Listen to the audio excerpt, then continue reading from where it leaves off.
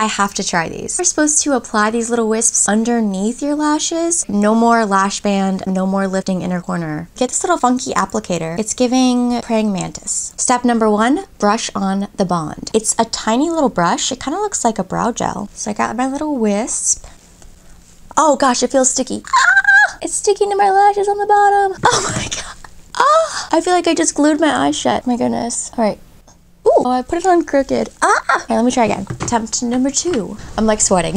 okay, I think it's on. Actually, I think, I think that looks pretty good. Wow. So my lashes were feeling a bit sticky, but after I applied the seal, the stickiness pretty much went away. Couple tips, only apply like a little bit at a time because it is super sticky as you saw. Working in sections was really, really easy. Once you get the hang of it, can't even tell that I'm wearing fake lashes and they don't feel uncomfortable at all. I think this is gonna be a new go-to for special occasions.